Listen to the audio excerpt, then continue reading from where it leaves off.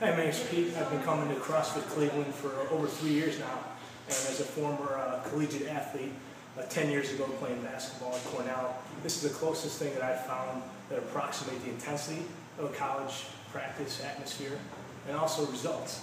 Coming here for three years, I see it myself, overall body strength, energy levels, and I see it my peers that come in here every day. Their body shapes have literally changed over the course of several months. It's the most efficient workout I'll see. Most of the time I'm out of here 30, 45 minutes. Bill and Stacy who run the shop here are awesome. There's no ego. Everyone's get checked at the door. I might be doing a weight with certain weight on it.